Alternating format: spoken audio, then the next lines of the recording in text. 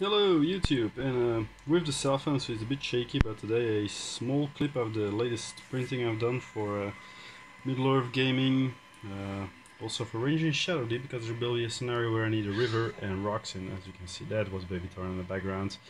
As you can see I'm printing the river, I need 8 of those long sections so that's uh, 8 more days of printing because every section takes about 9 hours on the industry. But uh, I got a very slow rate and a high pressure on the glass plate so how my settings go. But these are like um, five uh, different, well, four different uh, sorts of rocks.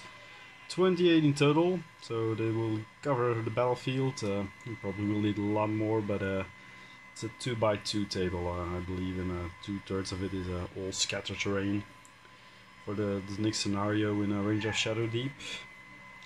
Also need to print a vulture, so it's not uh, like it's really done and it's gonna be in November or something when I'm gonna be able to play it anyway, so...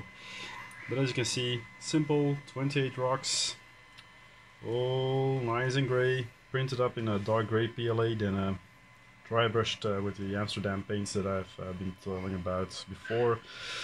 Payne's Grey as a base coat, neutral grey over that, and then finally a Vallejo Sky Grey light dry brush to give it some contrast. So easy peasy stuff. Hope you like it, and um, hopefully uh, you'll see it on my blog in the battle report soon. Thanks for watching, and see you next time.